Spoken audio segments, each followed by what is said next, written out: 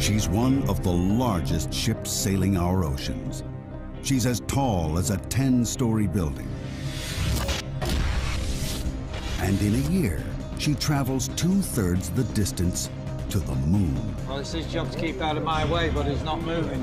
In 12 months, she carries nearly 200,000 containers, a cargo worth $4.5 billion. Cargo that must be delivered intact and on time. Yet this huge ship has a crew of only 22 who have to be ready for any conditions, any emergency. All ship personnel to your boat station. See any lights? and must be ready to defend their ship against desperate marauders, modern-day pirates. The Atlanta's mission? Transporting and protecting a mountain of very valuable cargo. Come, experience life aboard a maritime megastructure. Witness the mechanics and machinations of life at sea. Okay, I'll go ahead. Thank you. Starboard 10. and visit the bustling ports that feed the ever-growing world of trade.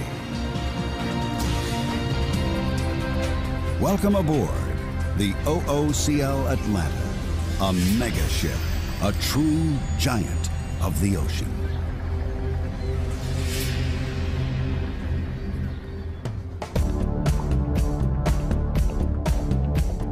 The Atlanta is one of the latest and largest class of container ships. Known as Post-Panamax, she and her kind are too wide to sail through the Panama Canal. If she were a naval vessel, she'd be the equivalent of an aircraft carrier with a crew of several thousand men. The Atlanta has a crew of just 22, ranging from a handful of ordinary seamen who work to keep the Atlanta shipshape at all times. Five engineers keep the ship's engines, power plants, and operating systems up and running. And a team of four officers work in shifts around the clock. Junior officers stand watch and keep a close eye on the weather. Second Officer Law is responsible for navigation and communications. First Officer Jonathan oversees all the crew, the safety, and daily running of the ship and all cargo load. At the team's head is a captain who's spent all his working life at sea. Starboard 10. Captain Roger Llewellyn is a man with salt water coursing through his veins. And over the years, he's developed some interesting sleeping habits. One eye open, always. We sleep with one eye open because at 25, 26 knots, you've got to jump out and up there.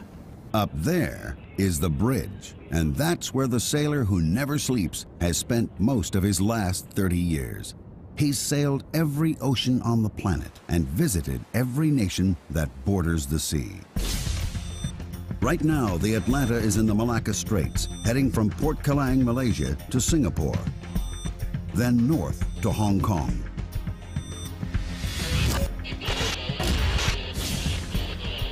It's a hectic schedule on a crowded route. 050. A lot of traffic not doing what they're supposed to do, a lot of traffic not reporting. So you've got to have eyes at the back of your head. You've got to keep an eye out for everything moving, especially small coastal traffic. We've got one here, not reported, you see. He's trying to get across the bow. When the Atlanta blows her horn, you'd be well advised to move out of her way. Her vital statistics are staggering. From bow to stern, the Atlanta is 323 meters long. That's over a thousand feet. In fact, if you could tip the Atlanta up on her bow, she'd edge out the Eiffel Tower. The area of her top deck is greater than two football fields. Fully laden, the Atlanta weighs more than 300 jumbo jets. On her normal route, she carries cargo from Southeast Asia to the west coast of America and back again every 42 days. These ocean giants make the earth very small. It is a village, because one minute we're in the east, next minute we're in the west. Very little time between the two. So we're constantly plying the world with manufactured goods. Mega ships like the Atlanta help keep the wheels of global commerce turning. Over half the world's cargo is carried in containers. In one year, nearly 20 million containers are moved a total of 300 million times. It's a payload worth almost $5 trillion. The Atlanta may be loaded down, but she still has to be on time. She runs to schedule for thousands and thousands of miles. She'll arrive on time. In Singapore, containers are arriving from all around the region. Some have a date with the Atlanta. These transfers must be planned with military precision. It's a chain where a weak link means a cargo gets delayed, or even worse, lost. The bottom line, the cargo must be at port waiting when the Atlanta docks.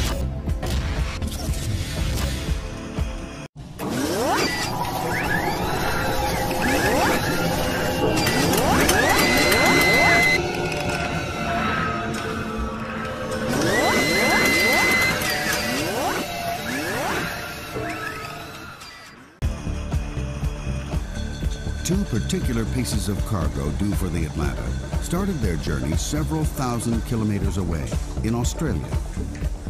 One is precious and fragile, a shipment of 999 cartons of wine from the lush vineyards of South Australia. The other is also a gourmet delight, but this time highly perishable.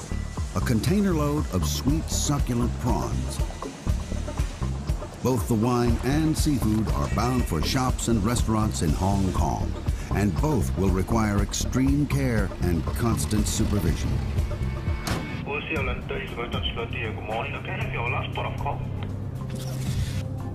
The Atlanta's due in Singapore in less than 24 hours, but there's a problem. Third mate. Oh, yes, that's correct, over. Third mate. Yeah, OC Atlanta, the master here. I sent it yesterday and I sent it again this morning when I left Port Kelang. Port procedures are very strict. I give up. Without the right paperwork, ships can't enter a country's waters. Good mate, keep him there, tell him. Instead of the last 10 ports which you've already got, I'll just send you Port Kelang. Okay, no problem, no problem. Aye, aye. The captain must keep to schedule. He has 2,200 containers to move in Singapore. And he must get there on time. The Atlanta is steaming towards Singapore Harbor and the planned 2,200 container moves. This megaship is purpose-built for one thing only, to carry cargo. A mountain of cargo. All up, she can carry 8,063 20-foot containers. These are the lashing bars and the turnbuckles up. These are 20 foot. You can load 20s and you can load 40s, either or. But they still need lashing forward and aft. Keep them fixed in position. Even though she hasn't yet reached her full load capacity, the captain still likes to check on the containers from the top to the very bottom. Where we are now, we're 13.6 metres underwater now. Down here, the containers are stacked nine high. So they go nine high and then on deck another six to eight high. So roughly we're stacking 17 high. From the very bottom of the stack, over 13 meters below the water, the containers rise over 44 meters.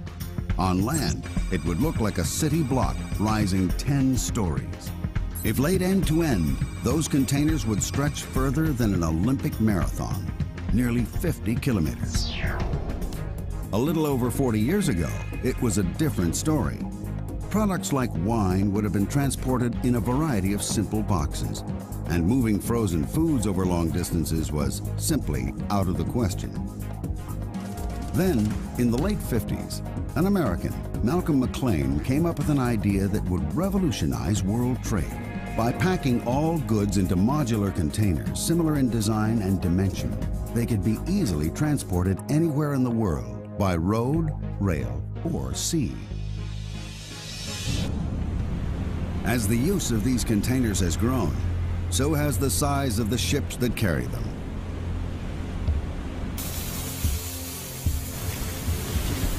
The Atlanta is one of 12 SX-class ships built for OOCL by the Samsung shipyard in Korea. It took over 8,000 workers nearly nine months to build her at a cost of over $150 million. She is the largest ship ever ever built when she was contract. And uh, she had been installed the largest main engine when uh, available in that time for the engine power that he was given, for the speed he wants, he's done, a, for me, a great job. When first launched, the SX class held the world record as the largest container ship ever built. We use the high tensile steel to get the minimum light ship weight so that we can maximize the cargo loading capability. It's that combination of high tensile steel and the design of the hull that gives the Atlanta her enormous load carrying ability. This that runs the full length of the ship is a very important structural member for stresses because you must remember there's so many big openings that the ship is bending all the time. In this area, when you've got 95,000 horsepower pushing this ship. The pressure is enormous. You can see that the, the frame structure is very heavy. So this is a high stress area, especially in heavy weather. The real pride of the Atlanta is the power plant. This is one of the world's biggest diesel engines. A 12-cylinder turbocharged monster its sheer size is breathtaking. The engine fills a room six stories high, six stories of incredible power. The engine peaks at 104 revolutions per minute, but generates a mind-blowing 93,120 brake horsepower. That's over 700 times more power than an average family car.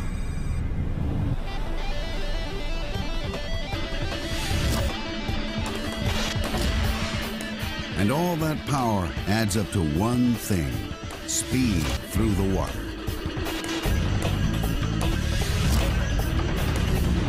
She can average nearly 25 nautical miles an hour. That's fast enough to water ski behind, as long as you can handle that huge stern wash. While at sea, the Atlanta can notch up over 570 nautical miles a day. But a speed like that comes at a price. This ship, she burns a lot of fuel. Full speed, she'll burn 230, 240 tons a day. That's a staggering 10 tons of diesel every hour the ship is underway. She may be thirsty, but she's also a clean engine. And that starts with clean fuel. A series of filters remove impurities before the diesel is pumped into a holding tank and heated to 129 degrees. Hot fuel and gas is an explosive mix.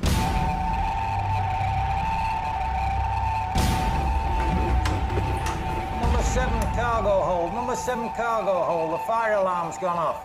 No other sound strikes fear into the heart of the mariner like the fire alarm. Starboard side, bay one, starboard side. A fire at sea can spell disaster. A small spark can soon become a fireball. The crew have to be ready to act in an instant. In the ocean, you're on your own. You've got nobody. We've got no shore facilities, no emergency services. We just rely on our own training and our own emergency services. But a fire is the worst.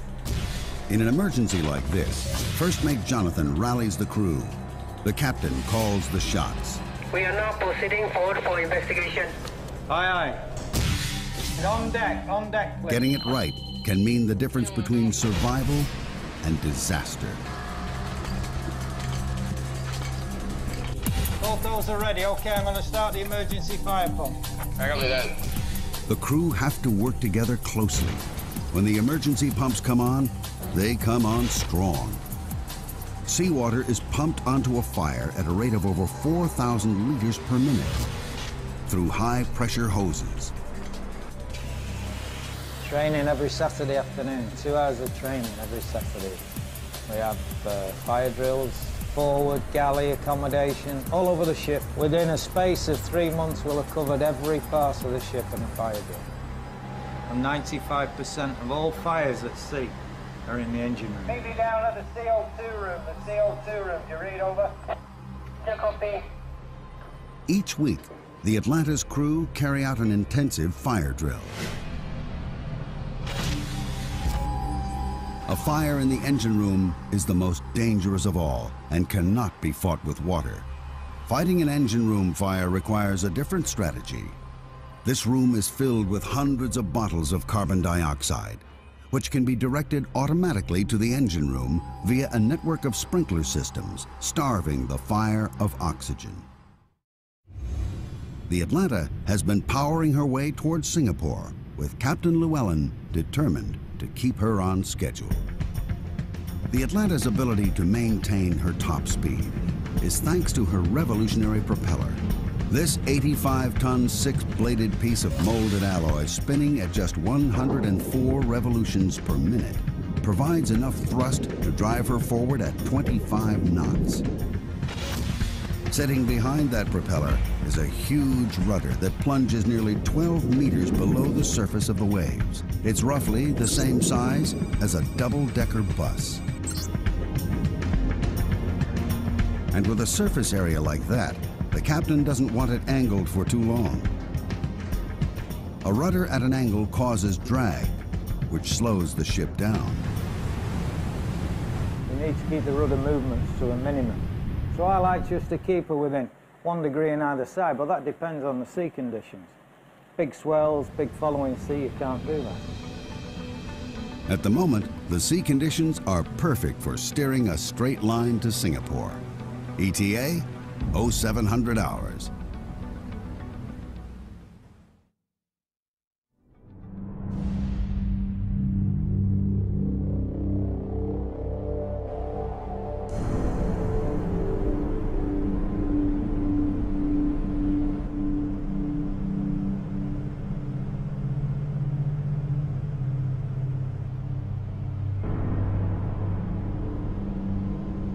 The first sign that the Atlanta's getting closer to port is the sudden increase in sea traffic.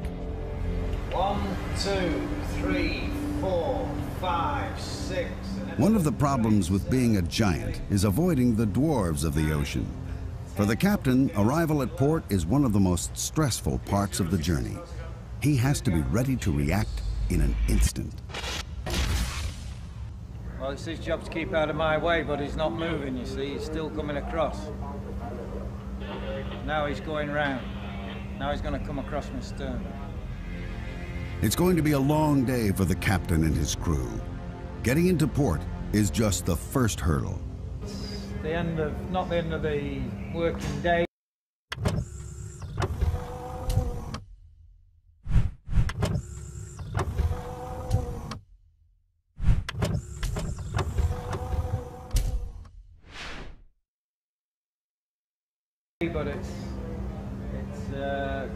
Cargo work straight away after. But it's uh, it's the end of the problems in the uh, Singapore Straits, so we can relax on the engine tested head and stern. While the captain maneuvers the Atlanta carefully closer to port, 2,500 kilometers away, another key individual is frantically working behind the scenes. Eric Lee is the ship planner. At the head office in Hong Kong, he's using the latest in sophisticated cargo planning software. He calls all the shots when it comes to loading the Atlanta's 8,000 containers. And must make sure that every piece of cargo is ready and waiting. A miscalculation could prove costly. The worst thing is the ship is sitting at the terminal, berthing at the terminal without any work. We lost a lot.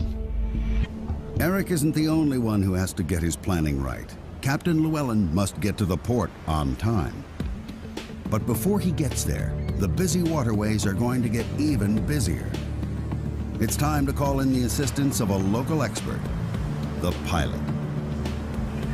Every harbor has its own secrets. Fast currents, changing tides, shallow waters. In a tricky maneuver, the Atlanta is about to pick up the man who knows these waters like the back of his hand. Zamil Nair has been a pilot in Singapore port for over 20 years. Well, we trust him, but you got to watch what he's doing. So it's uh, until you're actually tied up, you can't relax. Bringing this megaship into dock is the most dangerous maneuver of any trip. Dead slow at the moment. The chain of command is strict and involves as many as 12 key individuals. Starboard 10. Thank you, pilot. Uh, basically, uh, I'm working closely with the captain, ship's captain, and he's using my expertise in ship handling and uh, local knowledge to get the ship alongside. 314, steady, sir. Thank you. Dead slow ahead. Dead slow head. Uh, sea Labrador, Pilot Labrador. We've got a tug coming out there. It's going to be made fast at the stern on the port quarter. Uh, this tug is about uh, 4,000 horsepower and it's a fairly big, powerful tug. So basically, I'm going to swing the ship around to starboard and then backing down into the berth. Stop engines. Stop. With main engines stopped, the tugboat Labrador is tied to the stern of the Atlanta on the port side. Then it's dead slow ahead. Atlanta Bridge, gangway ready. Okay, Tango 1, uh, OCL. Uh, Tango 1, Tango 1. Will be starboard side, long side, uh, bridge to bow, 249 meters. 249. Okay, I see one of your crane is down. Eh? Can you check on the crane, please? Okay, okay. 3. Bigger the uh, ship, the smaller the space, pilot. Yep. The bigger the ship, the Yep. smaller the space. Stop engines. Stop engine. Okay, Labrador, increase the full power. Yeah. At the stern is the Labrador, a 4,000 horsepower tug. Up front, the Atlanta's huge electric driven bow thruster adds another 3,350 horsepower. All up, the pilot has over 7,000 horsepower at his command. By combining the pull of the Labrador at the stern and the power of the bow thruster, the pilot cleverly spins the Atlanta into position. When the spinning is over, it's time for some precision parking. Okay, Labrador, slow to port, Labrador. It's the ultimate shoehorning exercise. Dead slow ahead. Dead slow. There's no margin for error. The Atlanta is 323 meters long. She's being parked in a space with only meters to spare. Stop engines. Stop engine. What have you got forward now? How much? What about 5 meters to Five meters, that all? So keep the after spring slack. Don't heave up. Keep your springs slack as we come astern. Even though they perform this operation hundreds of times a year, it's a tense time for all the crew. All the way on your forward spring now. All the way forward. Two meters, two meters. Should be on the road in a minute.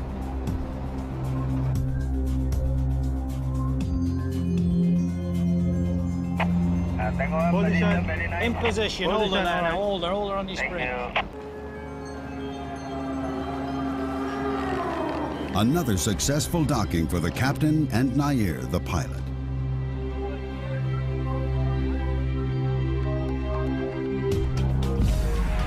And the moment the Atlanta docks, things swing into action as the trucks line up for loading and unloading.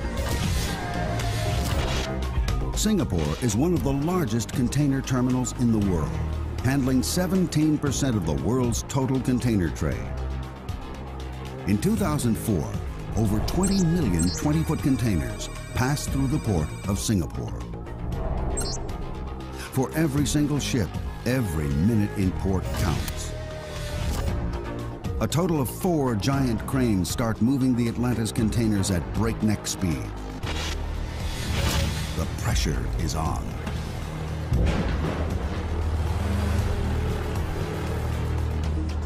The Atlanta has 2,200 containers that need to be moved, and the captain's hoping it can be done in under 20 hours.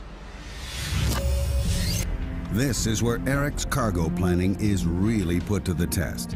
He has to pre-plan every move and allocate each container a specific position on the ship.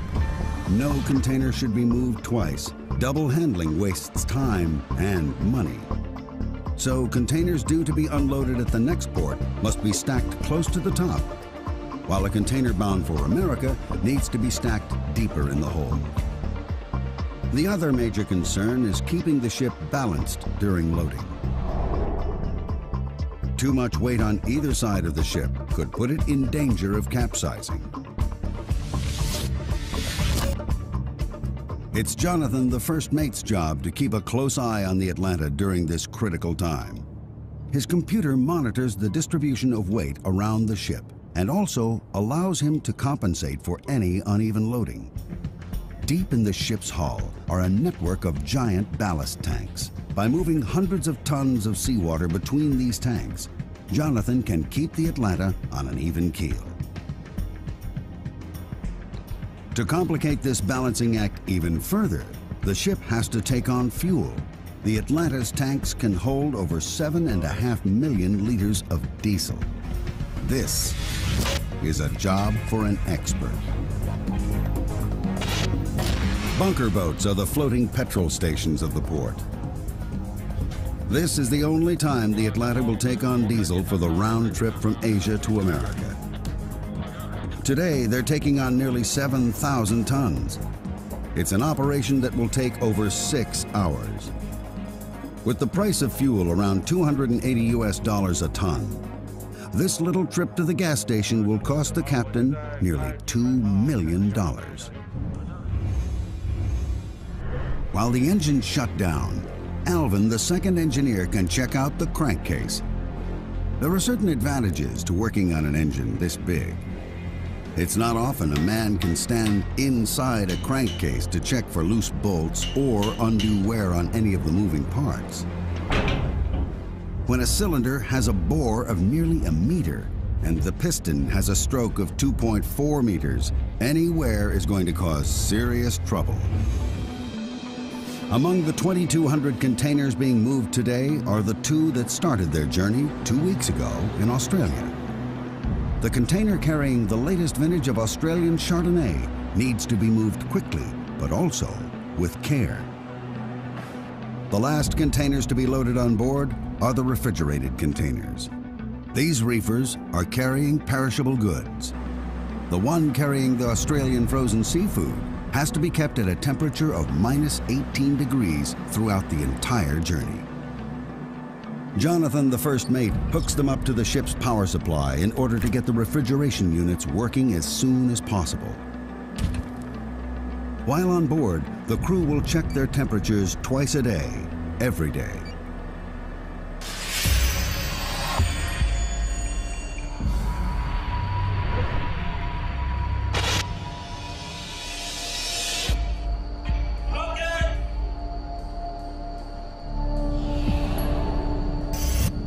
Below decks, the crew go on a manhunt. At dock, there's always the risk of taking on extra cargo, human cargo. Stowaways looking for a free ride to the USA.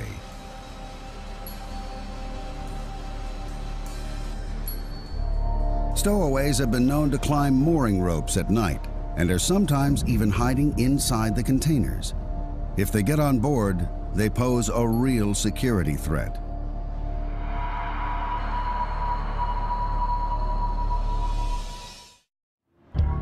While the crew search for stowaways down below, up on the bridge, the officers are planning for the sea voyage ahead. It's the second mate's responsibility to plot the course. It's an intricate combination of old world tradition and new age technology. He does his initial plotting using charts, slide rule, and compass, and then transfers the data into a computer. The advanced software then links his data to the satellite navigation systems and radar. The result? The officers on the bridge can plot the ship's course and see any oncoming traffic, all in real time. Well, the beauty of that for me is you see where you are instantly. You see exactly where the ship is. And there's many times I have to be on my own, so I need to know where she is. A ship of this size, when she's drawing 13.6, 14 meters, we need to know exactly where she is. The search for stowaways below deck is complete, and the crew have given the bridge the all clear. Nearly 22 hours after first docking, all of the new containers are on board and are being secured for the long trip to Hong Kong. Each container is lashed to the rows above and below in a matrix which locks every single container rigidly in place. This ensures that none of the cargo, including those bottles of Australian wine, will shift if the Atlanta starts pitching in a storm at sea. A full two hours later than planned, but with all cargo on board and firmly secured, the Atlanta is ready to leave Singapore. Taking a giant out of port can be even more difficult than bringing one in. And of course, that clock has started ticking again. Coming in and out of port, we're under more stress than when we're sailing out in the open sea. And we got deadlines to meet, sailing schedules. They want us there at a certain time, we can't get there. And it all adds to your level of stress. Midships. As with arrival, Captain Llewellyn shares command with Zamil Nair, the pilot. In these confined waters, the bow thrusters get a full-blown workout. Nair uses all his experience. First, reversing the Atlanta before the tugboat with all of her 4,000 horsepower helps spin the Atlanta away from the docks and points her in the right direction. Steady as she goes. Signal 4, pilot, signal 4. Steady, steady, steady. Pilot, signal 4. With the Atlanta slowly increasing speed and safely on her way, Nair now needs to meet up with another incoming ship.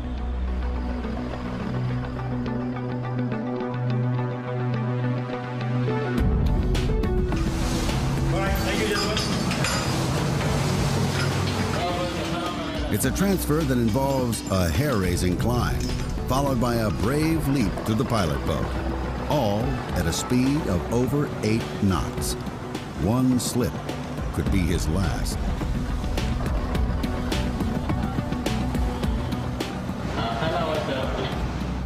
By his calculations, it's a leap of faith that he performs as many as eight times in one working day.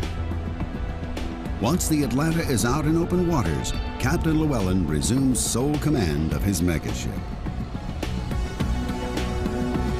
It will take the Atlanta two and a half days to sail to Hong Kong from Singapore, traveling a distance of over 1,460 nautical miles. That's a lot of time at sea.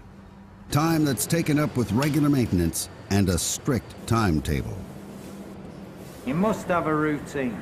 You're keeping yourself ready and waiting for the next challenge. Once a week, Captain Llewellyn, the first mate, and the bosun carry out inspections of every section of the Atlanta's living quarters. Home entertainment here, Chief, mate. Home from home. Home from home. For the captain, the giant can only run efficiently if attention is paid to every tiny detail. That applies to every inch of the ship. While the crew's quarters are checked, the crew themselves have their own inspections to carry out. Electricity is crucial for all the ship's operating systems. The engineers are responsible for keeping all five 3,000 kilowatt generators running smoothly. Without them, the Atlanta would be dead in the water. The refrigerated containers also rely on electricity. The crew have to check the temperature of every single reefer twice a day. It's a full-time job to keep perishables like the Australian seafood in tip-top condition. And guess what? The Atlanta can carry over 700 of these refrigerated units. Although the Atlanta is surrounded by water, none of it, of course, is drinkable. Every drop of fresh water on board is made by turning seawater into drinking water.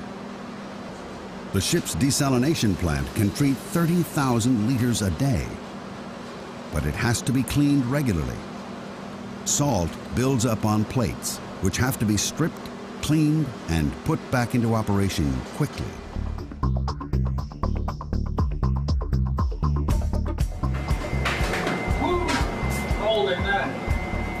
Another thing that's crucial to life on board is food, plenty of it, and it has to be kept fresh.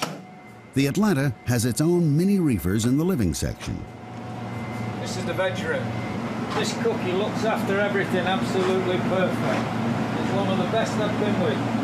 He sets everything out, he rotates, he keeps his storerooms immaculate. A key member of the crew who's hardly seen and seldom heard, but is crucial for harmony on board, is the cook. He orders and prepares all the food and has to come up with a menu that'll keep all 22 men of varied cultural backgrounds happy. 22 meals three times a day, seven days a week. And he does the washing up.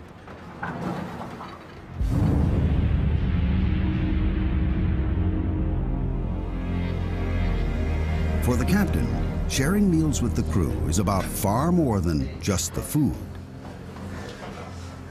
One of the beauties is to bring them all together, to sit down and eat together. And you make them feel part of the team. If you don't have a team, you can forget this life. You must work as a team. If there's ever a time when a good team spirit is needed, it's tonight. The ship is entering dangerous waters. The security level has been raised. The South China Seas are busy with all sorts of craft. Many are small fishing boats, miles from shore. Some, however, may not be at all interested in fishing. Pirates trawl these waters, looking for the ultimate catch. Heading on 308, sir. Well, they're there. You don't know where they are, but they're there. They're watching all the time. So it's it's a threat. We know that threat. Official figures show there can be three pirate attacks every two weeks in these waters. Third mate, I've got two targets here. And these guys that come aboard, if they can get aboard, are ruthless. They'll kill for the US dollar. Modern pirates don't wear eye patches and don't carry daggers between their teeth. Today, they carry machine guns, AK-47s and M16s, and travel in high-powered speedboats. 352, three miles. We're a soft target. We're easy. We're not armed. We're just easy. They know that. Starboard 20. Starboard 20. Hello aft, hello aft. Bridge Bill mechanic reporting. Yeah, this is Bridget. We've got a target now. He's moving at 32 knots. He's coming down the port side. If you see anything, let me know. This is the captain. All crew members to your pirate stations. All crew members to your pirate stations. The crew have to be ready to defend their ship. The pirates have one of two aims, either to take the crew hostage, or more commonly, to steal any money or valuables that might be on board. The pirates' strategy? Attack the ship's blind spot. They head for the aft deck. This is the lowest part of the ship and the most vulnerable. As I'm taking evasive action now, I'm going port 20. I'm going port 20. Midships, midship. If the captain can't outmaneuver the marauders, their only defense, high-pressured water cannons. Their only hope, washing the attackers into the sea before the pirates can get aboard.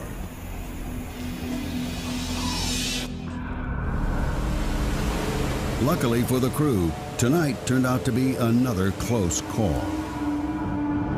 The fast-moving vessel was just a fishing boat crossing paths with the Atlanta. But if it's not one threat, it's another. The wind is freshening. The seas are rising. Intense tropical storms of the typhoon season command respect and demand a response. The captain can either skirt the storms, burning more fuel and losing time, or take them head on. This time, he decides to take the risk. No matter the weather, the crews still have to attend to their duties. The reefers still have to be checked, even if it means braving winds up to 70 knots. It's in conditions like these that the power supply to the reefers could fail, spelling disaster for our precious cargo of Australian seafood. At the moment, the reefers are still working. Storms can severely reduce visibility, but heavy rain also plays havoc with navigation equipment. The squalls create unreadable blotches on the radar screen. The danger there are times when the crew of the Atlanta are almost sailing blind.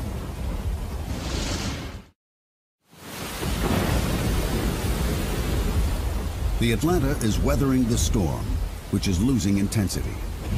The captain's instinct was right, and his gamble to take on the storm is paying off.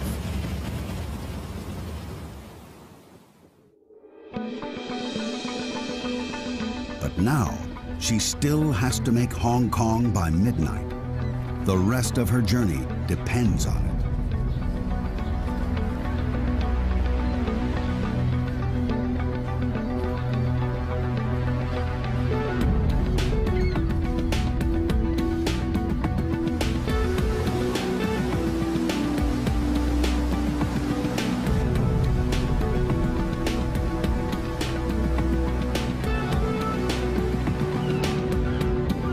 Take the Atlanta 42 days to complete the full circuit from Southeast Asia to California and back again.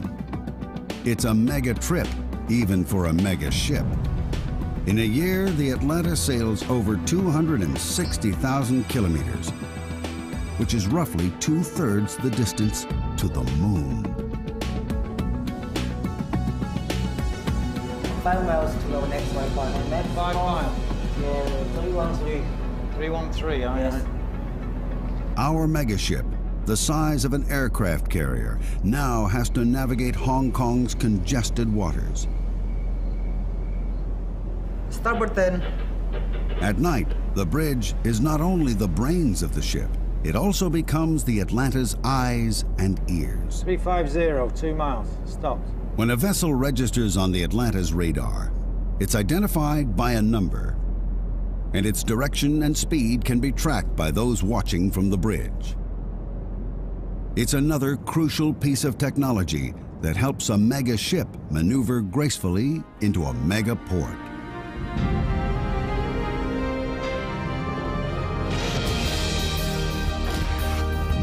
Bringing the Atlanta into another of the world's busiest ports at night means this small crew have to work together with maximum efficiency once again.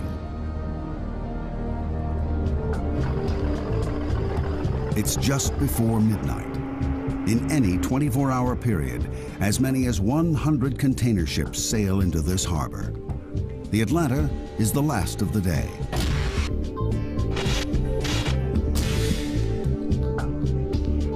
As at all the ports on the Atlanta's route, space at the dock is tight. Container ships bustle for space in this incredibly congested harbor. In a year, over 22,000 container ships move over 20 million 20-foot containers through this port. Once alongside, the winches take up the slack. The last thing anyone wants is two megaships wrestling for space. After more than two weeks of travel, this is the final destination for two particular pieces of cargo. The reefer containing the Australian prawns is whisked off the ship. Not far behind is the container packed with 999 cartons of Australian wine.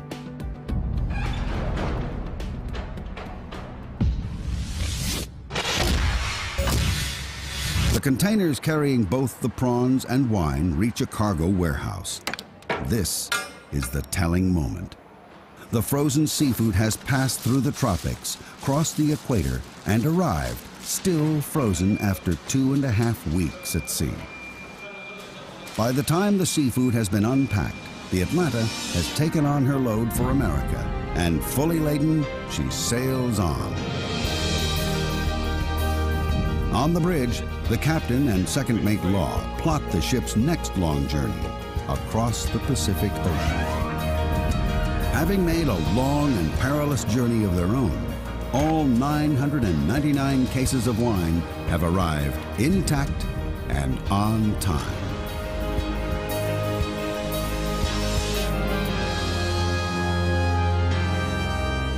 In a year, the Atlanta will carry over 185,000 containers at an estimated value of over $4.5 billion. The Australian seafood and wine are just a tiny fraction of all the goods that this megaship will transport around the globe.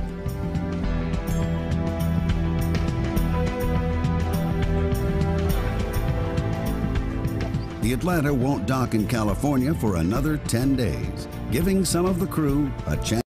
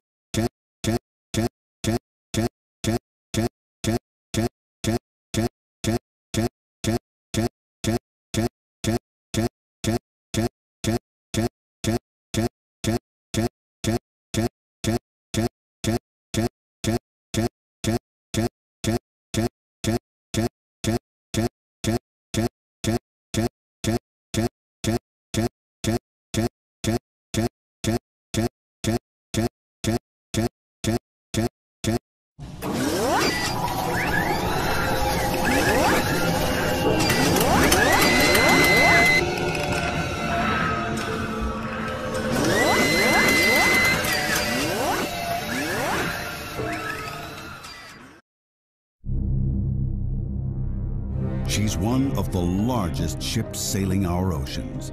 She's as tall as a 10-story building. And in a year, she travels two-thirds the distance to the moon. Well, it's his job to keep out of my way, but he's not moving. In 12 months, she carries nearly 200,000 containers, a cargo worth $4.5 billion. Cargo that must be delivered intact and on time. Yet this huge ship has a crew of only 22 who have to be ready for any conditions, any emergency. All ship personnel to your station. See any lights? and must be ready to defend their ship against desperate marauders, modern day pirates. The Atlanta's mission? Transporting and protecting a mountain of very valuable cargo. Come experience life aboard a maritime megastructure. Witness the mechanics and machinations of life at sea. Okay, I'll go ahead. Thank you. Starboard there. and visit the bustling ports that feed the ever-growing world of trade. Welcome aboard the OOCL Atlanta, a mega ship, a true giant of the ocean.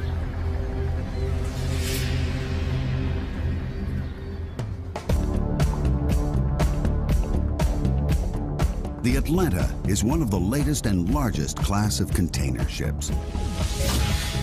Known as Post-Panamax, she and her kind are too wide to sail through the Panama Canal. If she were a naval vessel, she'd be the equivalent of an aircraft carrier with a crew of several thousand men. The Atlanta has a crew of just 22, ranging from a handful of ordinary seamen who work to keep the Atlanta shipshape at all times, five engineers keep the ship's engines, power plants, and operating systems up and running. And a team of four officers work in shifts around the clock. Junior officers stand watch and keep a close eye on the weather. Second Officer Law is responsible for navigation and communications.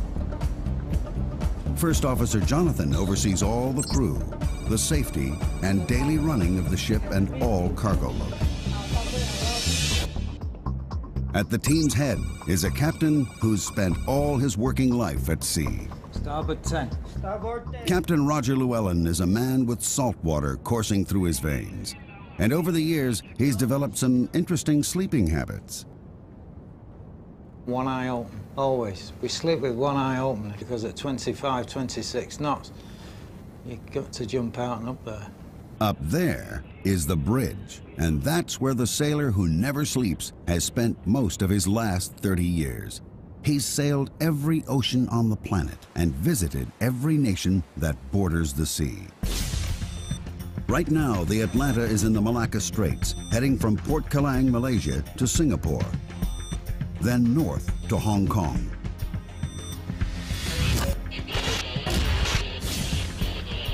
It's a hectic schedule on a crowded route. 050. A lot of traffic not doing what they're supposed to do, a lot of traffic not reporting. So you've got to have eyes at the back of your head. You've got to keep an eye out for everything moving, especially small coastal traffic. We've got one here, not reported, you see. He's trying to get across the bow.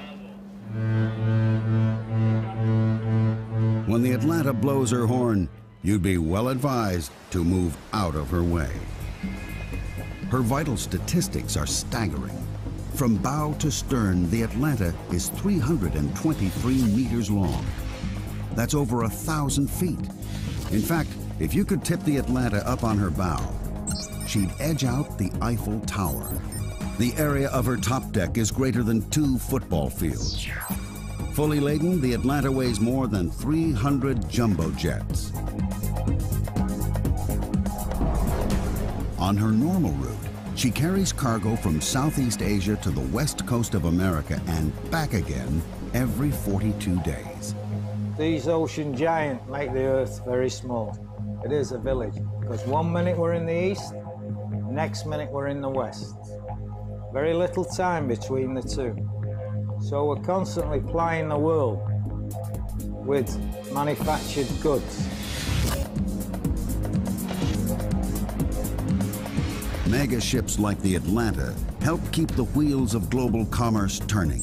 Over half the world's cargo is carried in containers. In one year, nearly 20 million containers are moved a total of 300 million times. It's a payload worth almost $5 trillion. The Atlanta may be loaded down, but she still has to be on time. She runs to schedule for thousands and thousands of miles. She'll arrive on time. In Singapore, containers are arriving from all around the region. Some have a date with the Atlanta. These transfers must be planned with military precision. It's a chain where a weak link means a cargo gets delayed, or even worse, lost. The bottom line, the cargo must be at port waiting when the Atlanta docks.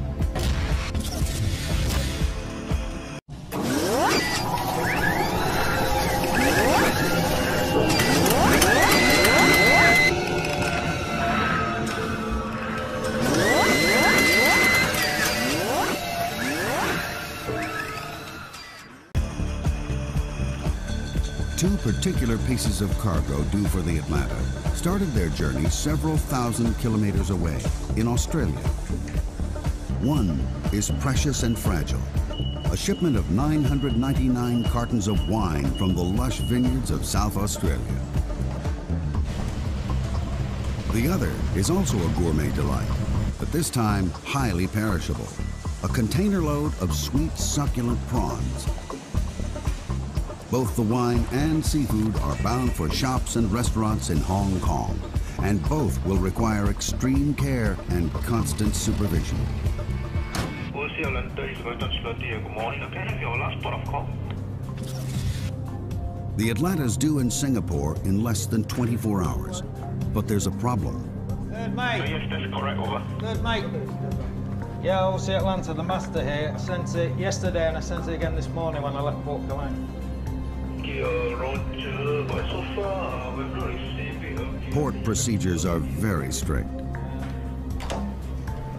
I give up. Without the right paperwork, ships can't enter a country's waters. Third mate, keep him there, tell him.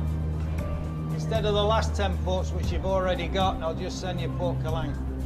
Okay, no problem, no problem. Aye, aye. The captain must keep to schedule. He has 2,200 containers to move in Singapore. And he must get there on time. The Atlanta is steaming towards Singapore Harbor and the planned 2,200 container moves.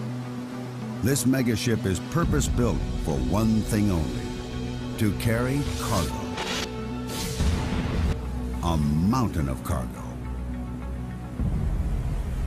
All up, she can carry 8,063 20-foot containers. These are the lashing bars and the turn turnbuckles up. These are 20 foot. You can load 20s and you can load 40s, either or. But they still need lashing forward and aft. Keep them fixed in position. Even though she hasn't yet reached her full load capacity, the captain still likes to check on the containers from the top to the very bottom.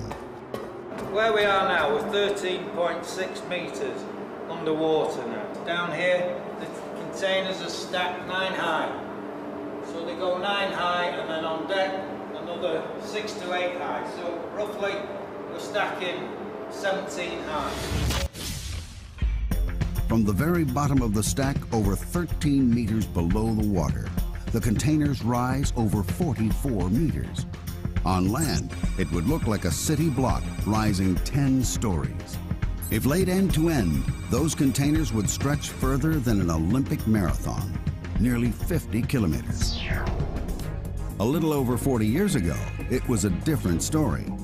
Products like wine would have been transported in a variety of simple boxes, and moving frozen foods over long distances was simply out of the question.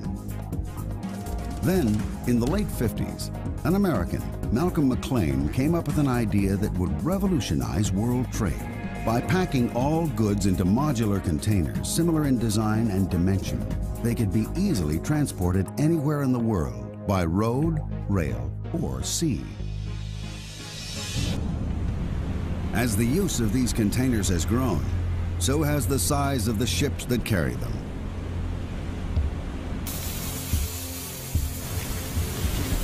The Atlanta is one of 12 SX-class ships built for OOCL by the Samsung shipyard in Korea. It took over 8,000 workers nearly nine months to build her at a cost of over $150 million. She is the largest ship ever ever built when she was contract.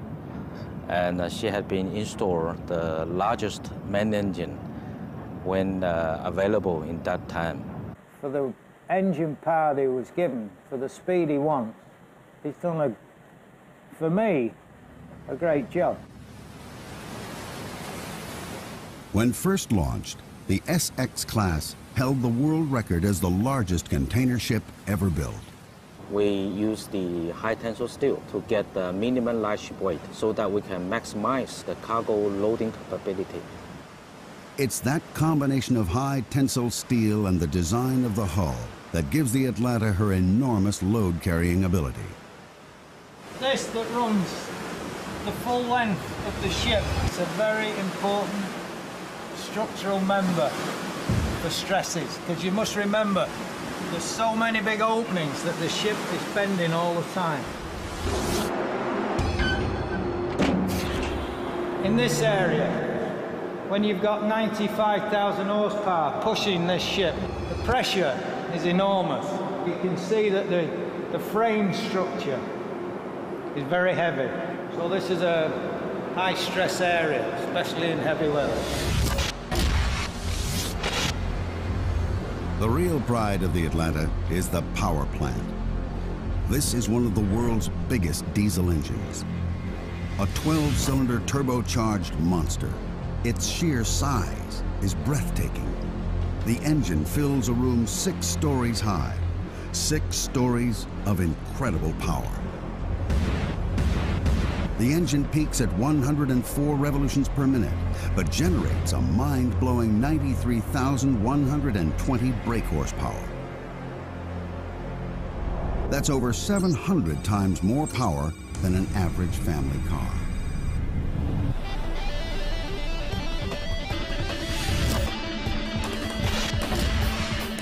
And all that power adds up to one thing, speed through the water.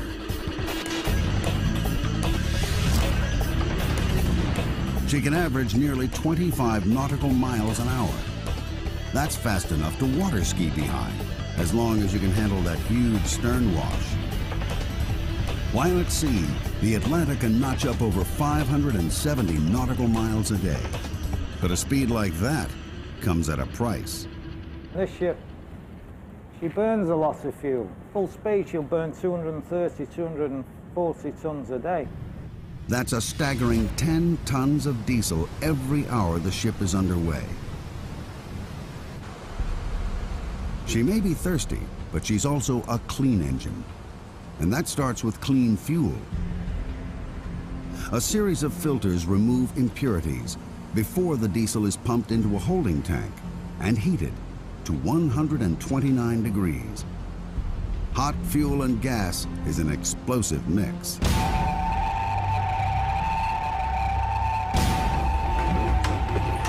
Number seven cargo hold, number seven cargo hold, the fire alarm's gone off.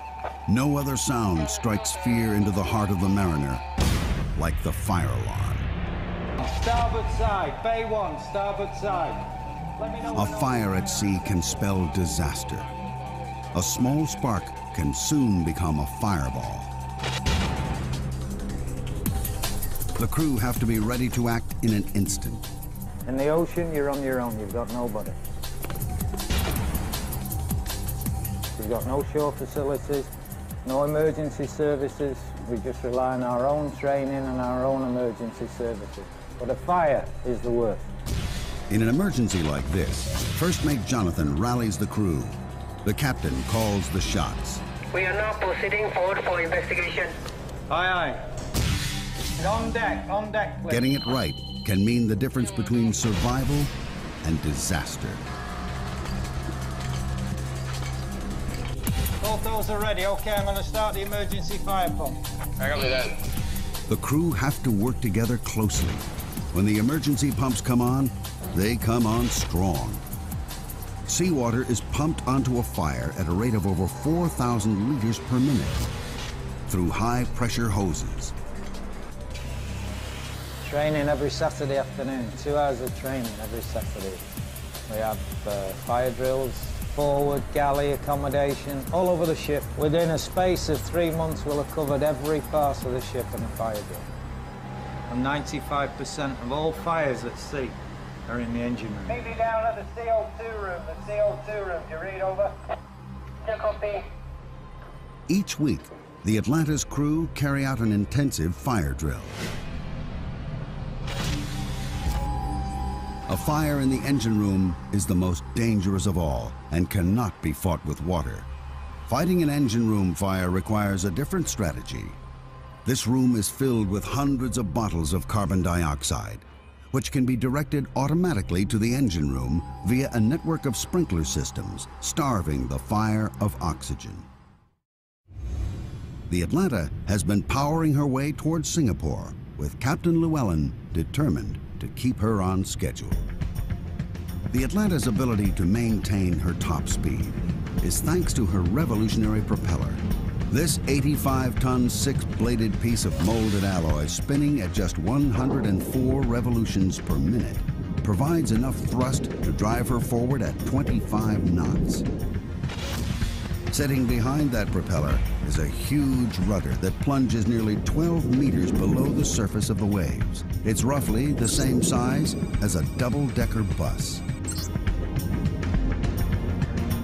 And with a surface area like that, the captain doesn't want it angled for too long. A rudder at an angle causes drag, which slows the ship down. You need to keep the rudder movements to a minimum. So I like just to keep her within one degree on either side, but that depends on the sea conditions. Big swells, big following sea, you can't do that. At the moment, the sea conditions are perfect for steering a straight line to Singapore. ETA, 0700 hours.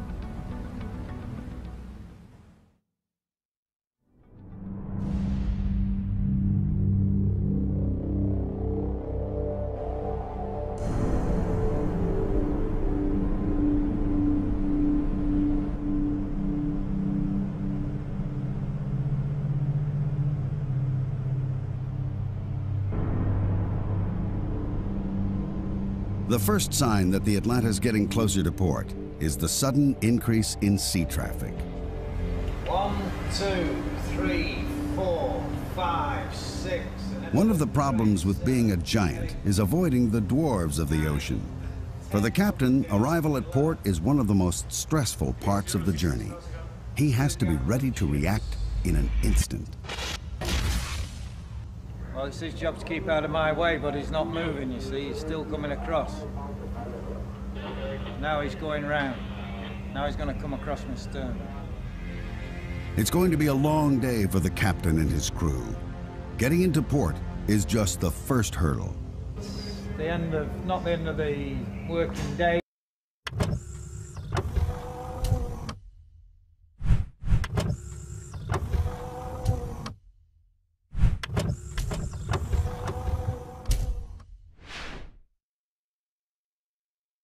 But it's it's because we got cargo work straight away after. But it's uh, it's the end of the problems in the uh, Singapore Straits, so we can relax little. Engine tested head stern. While the captain maneuvers the Atlanta carefully closer to port, 2,500 kilometers away, another key individual is frantically working behind the scenes.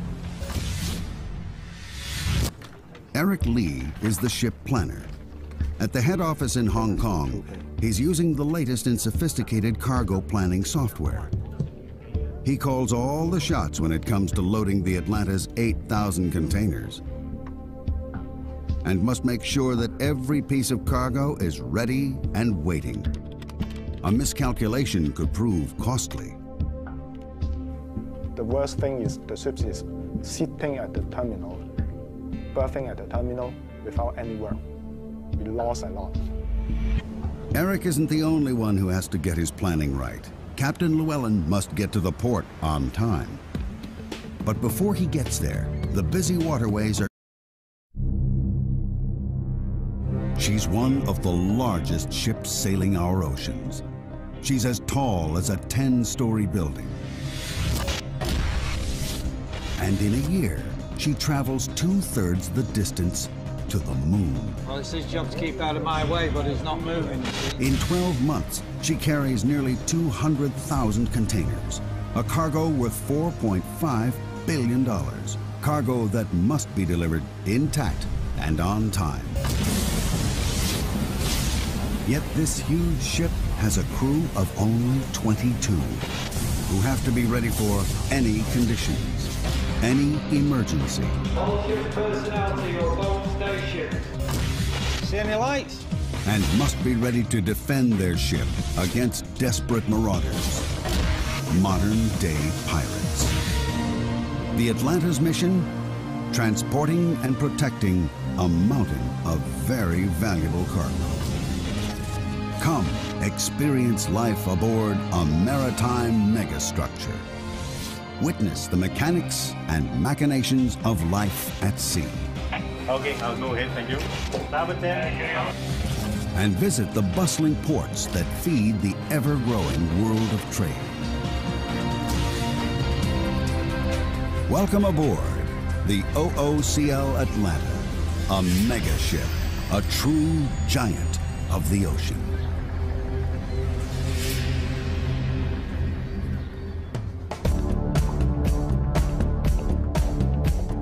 The Atlanta is one of the latest and largest class of container ships.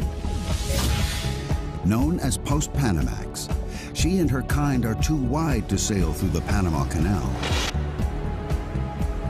If she were a naval vessel, she'd be the equivalent of an aircraft carrier with a crew of several thousand men. The Atlanta has a crew of just 22, ranging from a handful of ordinary seamen who work to keep the Atlanta shipshape at all times. Five engineers keep the ship's engines, power plants, and operating systems up and running. And a team of four officers work in shifts around the clock. Junior officers stand watch and keep a close eye on the weather. Second Officer Law is responsible for navigation and communications. First Officer Jonathan oversees all the crew, the safety, and daily running of the ship and all cargo load.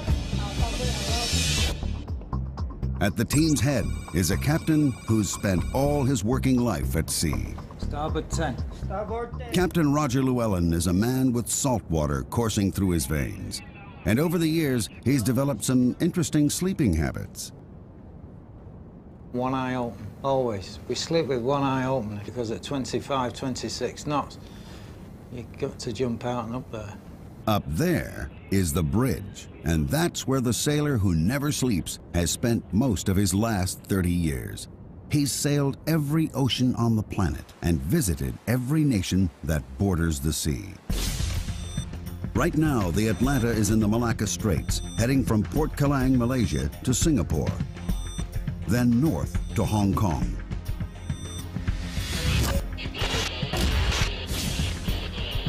It's a hectic schedule on a crowded route.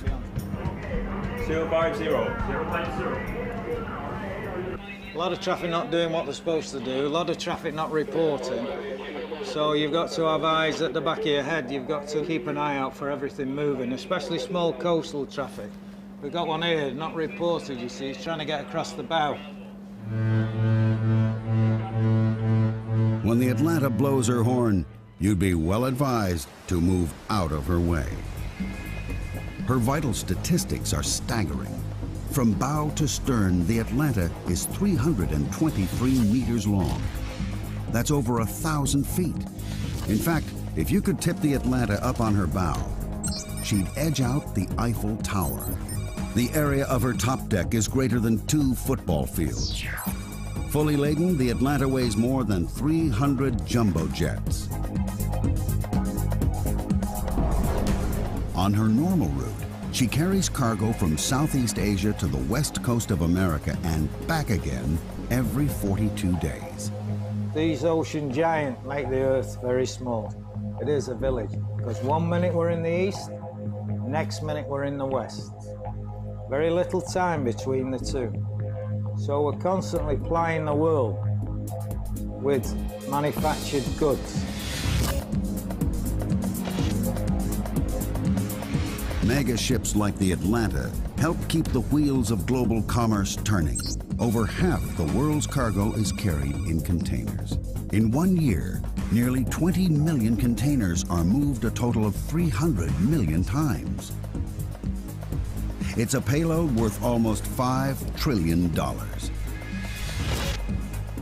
The Atlanta may be loaded down, but she still has to be on time.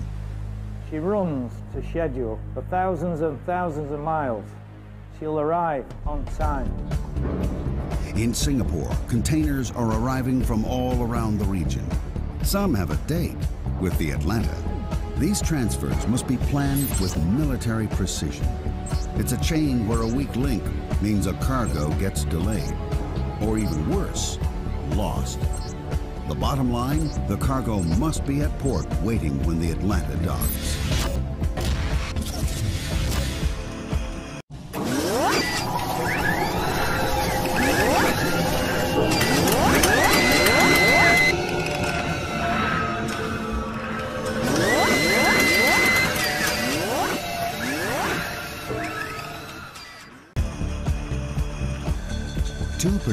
Pieces of cargo due for the Atlanta started their journey several thousand kilometers away in Australia. One is precious and fragile. A shipment of 999 cartons of wine from the lush vineyards of South Australia. The other is also a gourmet delight, but this time highly perishable. A container load of sweet, succulent prawns. Both the wine and seafood are bound for shops and restaurants in Hong Kong, and both will require extreme care and constant supervision. OCL 35 good morning. Can I have your last port of call? The Atlanta's due in Singapore in less than 24 hours, but there's a problem. Third mate. yes, that's correct, over. Third mate. Yeah, obviously Atlanta, the master here. I sent it yesterday and I sent it again this morning when I left Port Kelang.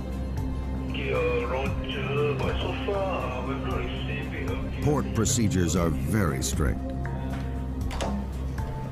I give up.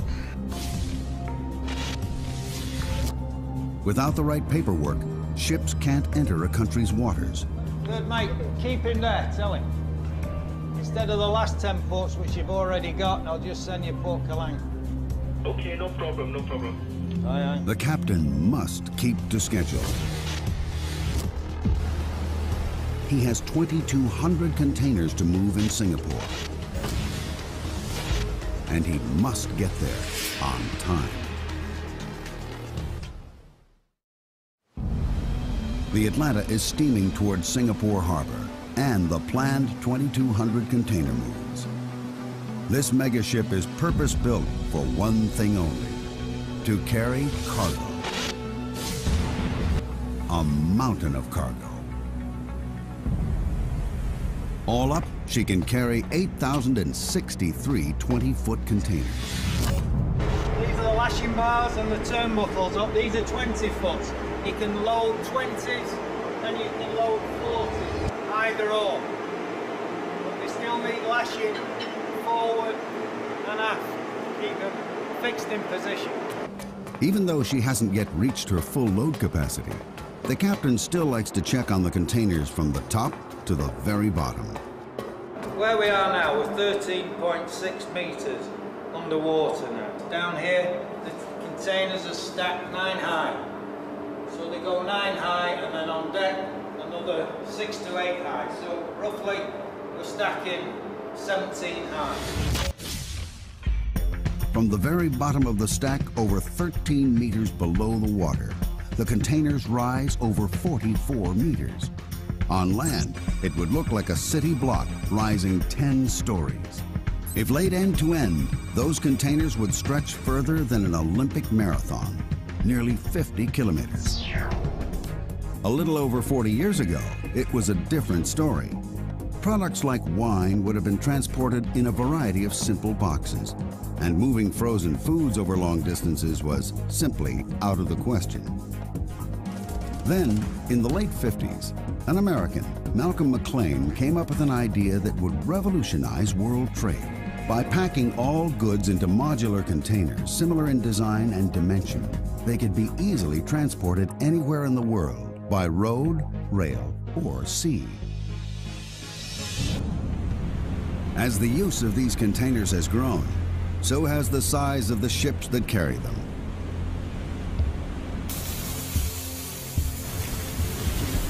The Atlanta is one of 12 SX-class ships built for OOCL by the Samsung shipyard in Korea. It took over 8,000 workers nearly nine months to build her, at a cost of over $150 million. She is the largest ship ever ever built when she was contract. And uh, she had been installed the largest main engine when uh, available in that time.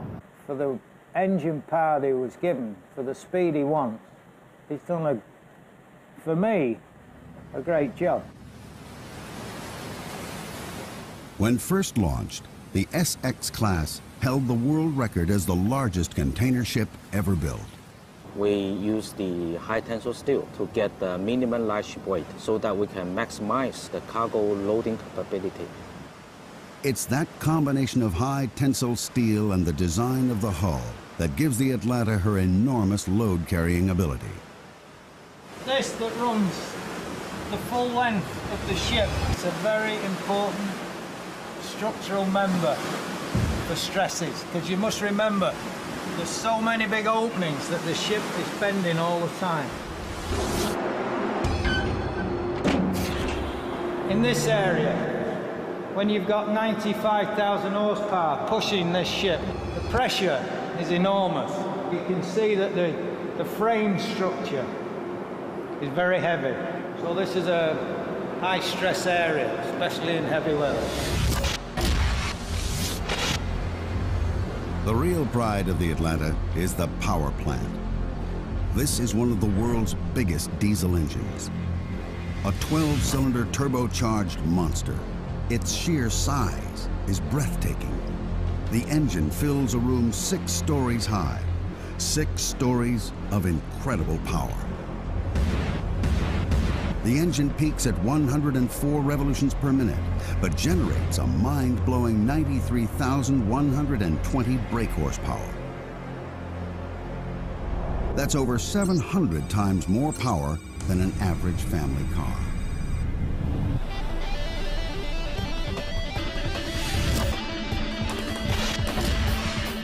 And all that power adds up to one thing, speed through the water. She can average nearly 25 nautical miles an hour. That's fast enough to water ski behind, as long as you can handle that huge stern wash. While at sea, the Atlanta can notch up over 570 nautical miles a day. But a speed like that comes at a price.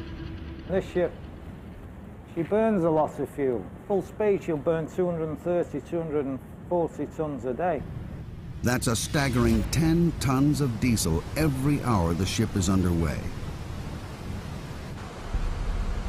She may be thirsty, but she's also a clean engine. And that starts with clean fuel. A series of filters remove impurities before the diesel is pumped into a holding tank and heated to 129 degrees. Hot fuel and gas is an explosive mix.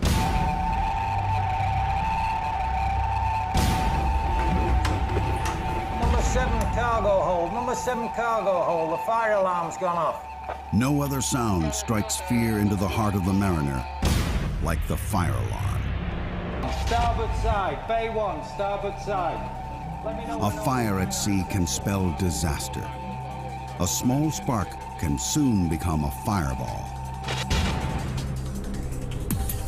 The crew have to be ready to act in an instant. In the ocean, you're on your own. You've got nobody. You've got no shore facilities, no emergency services. We just rely on our own training and our own emergency services. But a fire is the worst. In an emergency like this, First Mate Jonathan rallies the crew. The captain calls the shots. We are now proceeding forward for investigation. Aye, aye. And on deck, on deck, please. Getting it right can mean the difference between survival and disaster. Both those are ready. Okay, I'm going to start the emergency fire pump. I copy that. The crew have to work together closely. When the emergency pumps come on, they come on strong. Seawater is pumped onto a fire at a rate of over 4,000 liters per minute through high-pressure hoses. Training every Saturday afternoon, two hours of training every Saturday. We have uh, fire drills, forward, galley accommodation, all over the ship. Within a space of three months, we'll have covered every part of the ship in a fire drill. And 95% of all fires at sea are in the engine room. Meet me down at the CO2 room. The CO2 room. You read over? No copy. Each week, the Atlanta's crew carry out an intensive fire drill. A fire in the engine room is the most dangerous of all and cannot be fought with water. Fighting an engine room fire requires a different strategy. This room is filled with hundreds of bottles of carbon dioxide, which can be directed automatically to the engine room via a network of sprinkler systems, starving the fire of oxygen. The Atlanta has been powering her way towards Singapore with Captain Llewellyn determined to keep her on schedule. The Atlanta's ability to maintain her top speed is thanks to her revolutionary propeller. This 85-ton six-bladed piece of molded alloy spinning at just 104 revolutions per minute provides enough thrust to drive her forward at 25 knots.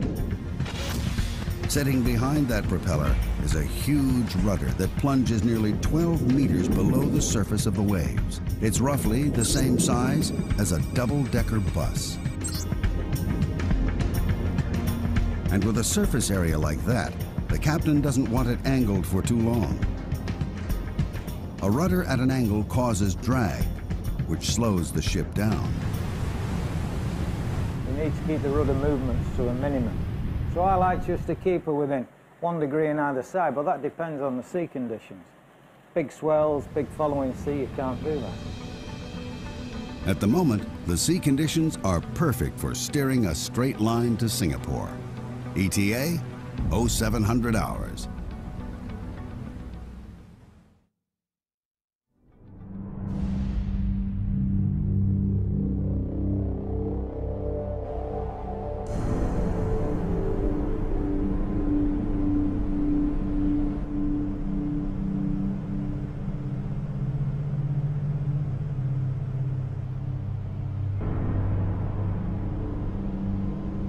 The first sign that the Atlanta's getting closer to port is the sudden increase in sea traffic. One, two, three, four, five, six. One of the problems with being a giant is avoiding the dwarves of the ocean. For the captain, arrival at port is one of the most stressful parts of the journey. He has to be ready to react in an instant. Well, it's his job to keep out of my way, but he's not moving, you see. He's still coming across. Now he's going round. Now he's going to come across my stern. It's going to be a long day for the captain and his crew. Getting into port is just the first hurdle. It's The end of, not the end of the working day.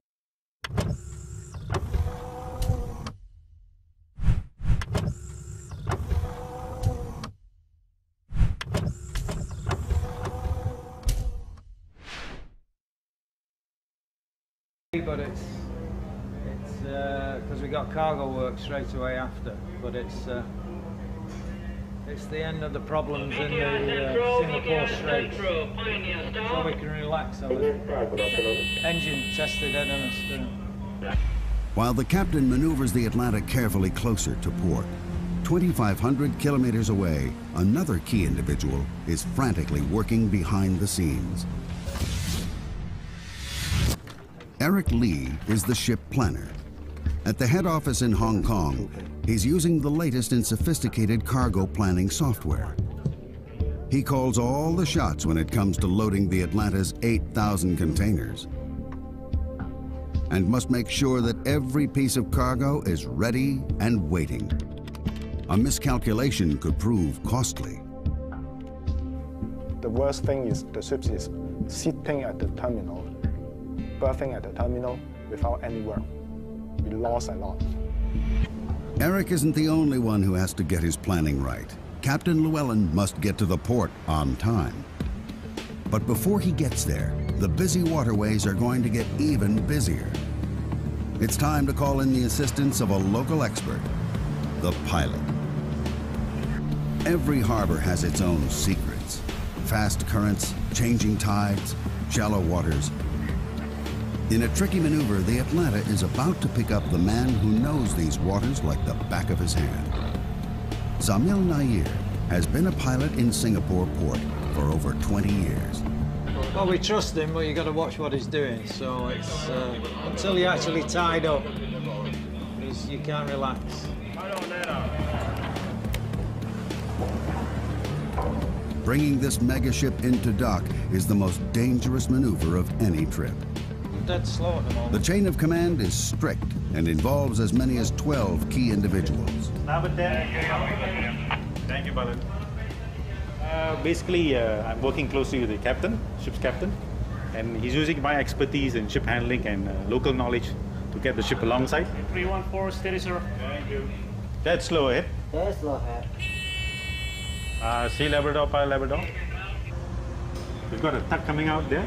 It's going to be made fast at the stern on the port quarter. Uh, this tuck is about uh, 4,000 horsepower and it's a fairly big, powerful tuck. So basically I'm going to swing the ship around to starboard and then backing down into the berth. Stop engines. Stop, Stop. engine.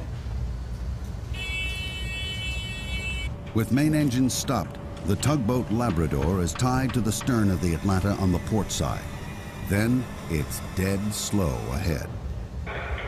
Atlanta bridge, gangway ready. Okay, Tango 1, uh, OCL. Uh, Tango 1, Tango 1. Will be starboard side, long side, uh, bridge to bow, 249 meters.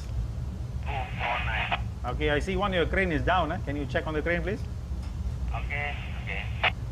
Bigger the ship, the smaller the space, pilot. Yep. The bigger the ship, the Yep. smaller the space. Stop engines. Stop engine. Okay, Labrador, increase the full power. Yeah. At the stern is the Labrador, a 4,000 horsepower tug. Up front, the Atlanta's huge electric driven bow thruster adds another 3,350 horsepower. All up, the pilot has over 7,000 horsepower at his command. By combining the pull of the Labrador at the stern and the power of the bow thruster, the pilot cleverly spins the Atlanta into position. When the spinning is over, it's time for some precision parking. Okay, Labrador, slow the port, Labrador. It's the ultimate shoehorning exercise. Dead slow. That's slow. There's no margin for error. The Atlanta is 323 meters long. She's being parked in a space with only meters to spare. Stop engines. Stop engine. What have you got forward now? How much? What about 5 meters to Five meters, is that all? So keep the after spring slack. Don't give it up. Keep your spring slack as we come astern. Even though they perform this operation hundreds of times a year, it's a tense time for all the crew. All the way on your forward spring now. All the way forward. Two meters, two meters. Should be on the road in a minute.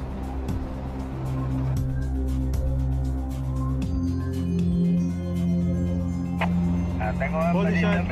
In position, hold her there now. Hold her, hold her on your spring. Another successful docking for the captain and Nair, the pilot.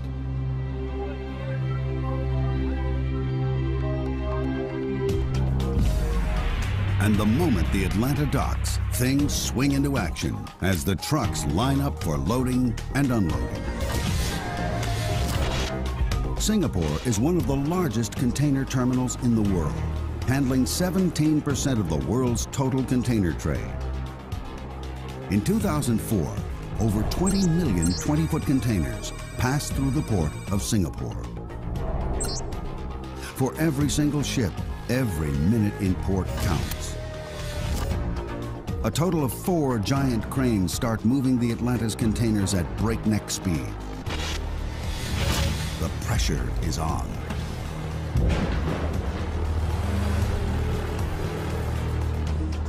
The Atlanta has 2,200 containers that need to be moved, and the captain's hoping it can be done in under 20 hours. This is where Eric's cargo planning is really put to the test. He has to pre-plan every move and allocate each container a specific position on the ship. No container should be moved twice. Double handling wastes time and money. So containers due to be unloaded at the next port must be stacked close to the top, while a container bound for America needs to be stacked deeper in the hold. The other major concern is keeping the ship balanced during loading. Too much weight on either side of the ship could put it in danger of capsizing. It's Jonathan, the first mate's job to keep a close eye on the Atlanta during this critical time. His computer monitors the distribution of weight around the ship and also allows him to compensate for any uneven loading. Deep in the ship's hull are a network of giant ballast tanks. By moving hundreds of tons of seawater between these tanks, Jonathan can keep the Atlanta on an even keel. To complicate this balancing act even further, the ship has to take on fuel. The Atlanta's tanks can hold over seven and a half million liters of diesel. This is a job for an expert. Bunker boats are the floating petrol stations of the port. This is the only time the Atlanta will take on diesel for the round trip from Asia to America. Today, they're taking on nearly 7,000 tons. It's an operation that will take over six hours. With the price of fuel around 280 US dollars a ton, this little trip to the gas station will cost the captain nearly $2 million. While the engine shut down, Alvin, the second engineer, can check out the crankcase. There are certain advantages to working on an engine this big. It's not often a man can stand inside a crankcase to check for loose bolts or undue wear on any of the moving parts. When a cylinder has a bore of nearly a meter and the piston has a stroke of 2.4 meters, any wear is going to cause serious trouble. Among the 2,200 containers being moved today are the two that started their journey two weeks ago in Australia. The container carrying the latest vintage of Australian Chardonnay needs to be moved quickly, but also with care. The last containers to be loaded on board are the refrigerated containers. These reefers are carrying perishable goods. The one carrying the Australian frozen seafood has to be kept at a temperature of minus 18 degrees throughout the entire journey. Jonathan, the first mate, hooks them up to the ship's power supply in order to get the refrigeration units working as soon as possible. While on board, the crew will check their temperatures twice a day, every day.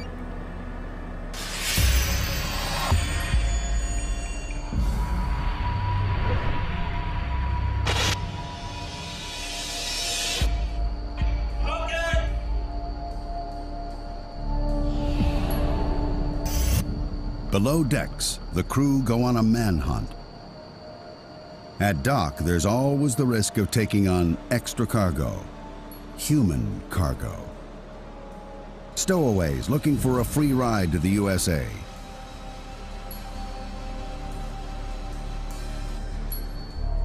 Stowaways have been known to climb mooring ropes at night and are sometimes even hiding inside the containers. If they get on board, they pose a real security threat.